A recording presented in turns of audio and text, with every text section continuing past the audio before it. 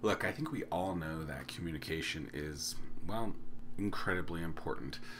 But recently I've gotten word through the internet and some friends who've gone through this process that probably, I would assume, the leading in home at home fitness company Peloton is going through quite the struggle. Now, we all know that 2020 um, really hurt the manufacturing and logistics companies uh, in, in many cases because supply and demand was absolutely bonkers. It was very difficult for companies to fulfill those orders.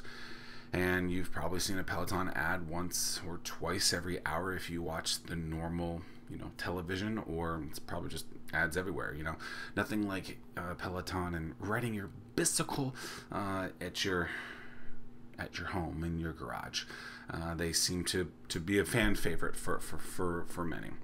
But for many who have purchased this bike, this in home bicycle, uh, the fulfillment has been, well, let's just say, not to the most desirable opportunities, the most desirable, the most it basically has just been screwing up a lot of people where uh, peloton will say hey you're going to get your your indoor peloton what do they call those? Just bikes. But you're going to get your Peloton in a couple of weeks.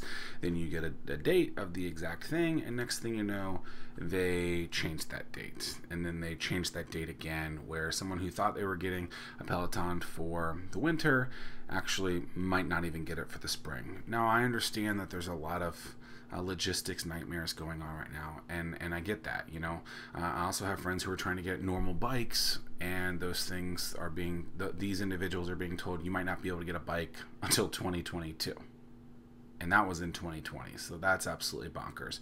But I think the challenge with this is when you tell someone, "Hey, you're going to get this thing," and then a couple weeks later you say, "Never mind." And then a couple weeks later you go, never mind again. Yet you see the ad on TV, and then you just kept getting all this kind of fake news, false uh, information, and it's just it, it really hurts the brand. But how much does it actually hurt the brand? Is this something that Peloton can recover from? Obviously, there was the controversy last year where some people thought that, that the person, the the wife who received a Peloton, um, was there was some sort of controversy there. You know, they seem to have recovered from that, but is is this something that's even worse? I would probably say this is actually worse because well, people aren't actually being able to get the thing that they purchased and then they keep getting a new timeline over and over again and they get frustrated where all they want to do is get this thing that they paid thousands of dollars for and, and, and 60 bucks a month for.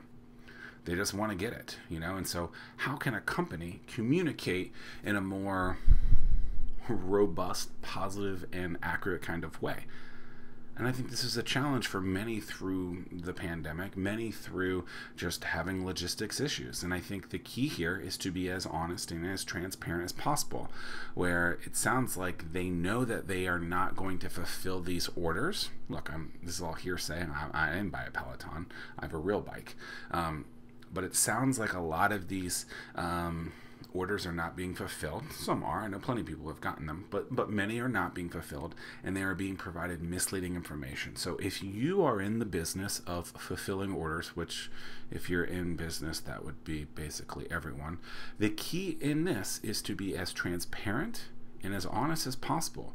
So if you know that that thing is not going to be delivered, don't spend months saying, "Hey, we're going to give it to you. We're going to give it to you. We're going to give it to you. And then at the end of the day, well, you don't.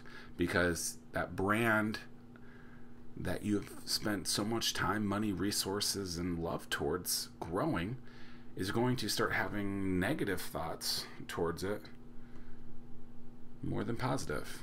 And a Peloton is a is a is a company that I think is important to the world. I think fitness is important for people. But people also want to get their bikes and they want to know when they're actually getting that thing. So, what would you do to make Peloton better? What would I do?